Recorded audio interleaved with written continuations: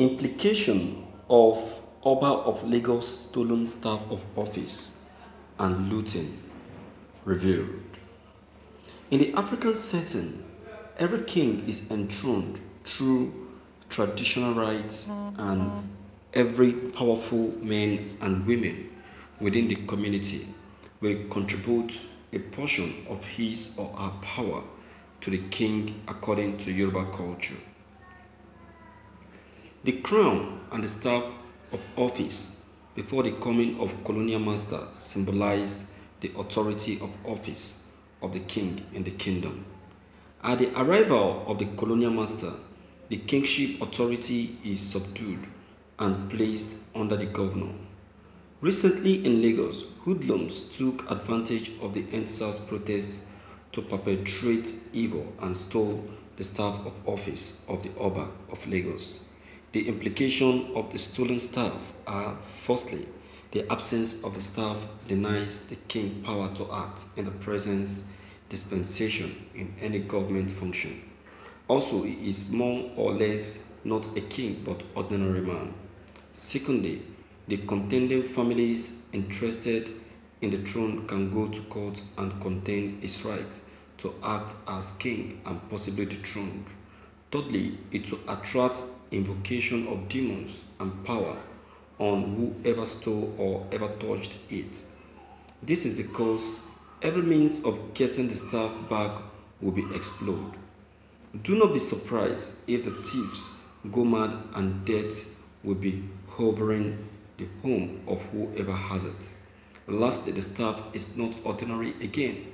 Whoever is in possession is living with mermaid influence. As for those who loot his palace, the source of youth's death, madness, or anything is possible. The coffin is a sensitive thing, even if the money is embezzled money. The coffin's significance is always bad. The swimming pool saga is another problem. People jumped into the swimming pool. They do not know if it is the shrine of a goddess, if destinies are stolen or destroyed by these means. Nobody should be blamed. It is the youth that play with the lion's tail. Thank you for listening to this news. Nothing is going to happen to anybody, my viewers. Nothing, I tell you. See, the king contributed to the current situation that is going on in the state today. See, let me tell you, evil goes after those that cause evil. But he that knows nothing about evil, evil can never go close to them. If anything wanted to happen to those people, I tell you of the truth, these people would have been dealt with that same day. These people would have been held down in the palace of the king that same day. These people wouldn't have been able to do away with the money inside the coffin that same day. Do you understand? Look at the huge amount of money inside the coffin. And you're telling me that um, the, the, the money inside the coffin will do them harm. Nothing will happen to anybody. What is the king doing with dollars in his coffin? Huh? And the staff of office that you are talking about, that you know, that you said that is spiritual, yes, I agree with you.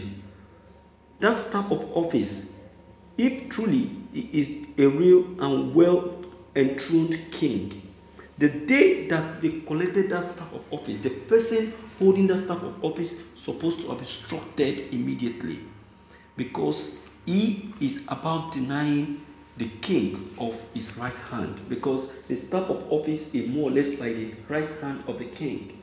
Without the staff of office, decisions cannot be made.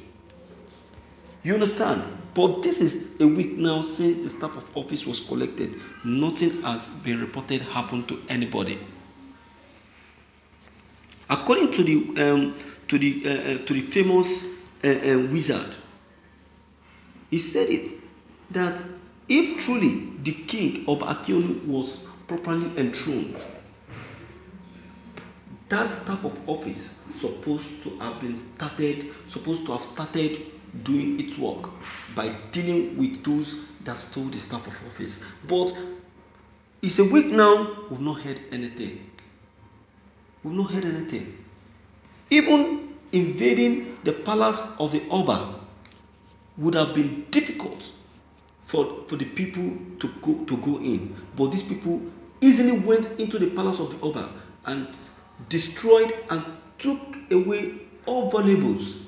The palace of the Oba is more or less a spiritual palace, but the people invaded into it easily, destroyed and do away with, cut away with valuables. And someone is here telling me that something is going to happen to them. Nothing will happen to them because the Oba has offended.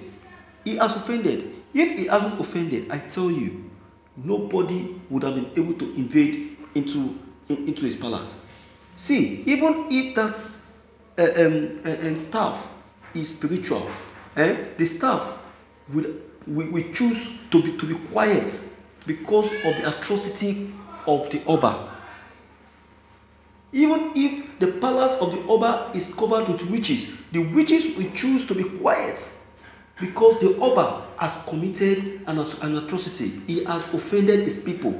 The people that that that uh, that is supposed to sit with as their Oba to intervene for. Yeah?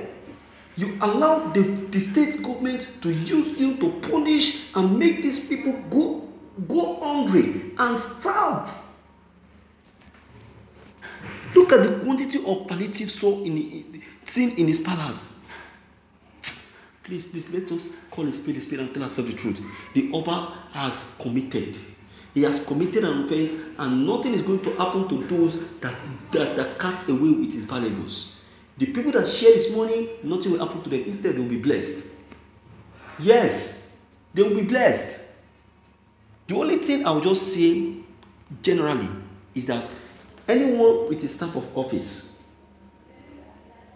please and please to this channel i am pleading go locate him and hand over the staff of office for him and let him and let peace reign.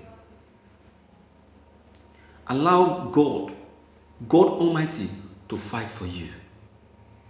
He will not be in this office forever he will not be in the office forever jesus will fight for you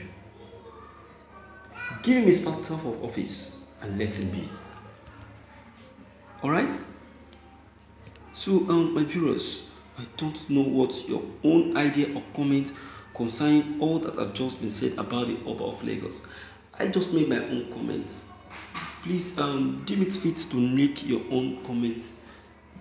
Click on the subscription button as well as the bell button to get updated whenever we upload any new videos. Thank you.